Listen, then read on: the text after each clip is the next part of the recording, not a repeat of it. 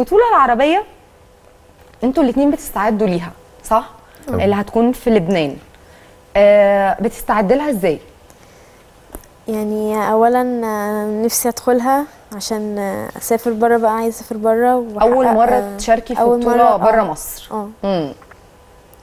فإن شاء الله أعمل فيها حاجة حلوة وآخد الكاس إن شاء الله طيب الكابتن متكلم معاكي قايل لك مين اللي هيبقوا معاكي في البطولة الدول اللي بتشارك أرقامهم إيه؟ والله هو المفروض قال لنا إحنا أحسن أرقام مم. موجودة يعني يعني في أمل إن شاء الله إن أنا أعلق وآخد إن شاء إن الله شاء الله وأنت يوسف بتت... بتستعد لها إزاي؟ دي أول بطولة ليك تشارك فيها بره مصر؟ لا أنا بره مصر آه ما أنا مم. كنت مشارك في بطولة عالم هنا في شرم الشيخ مم.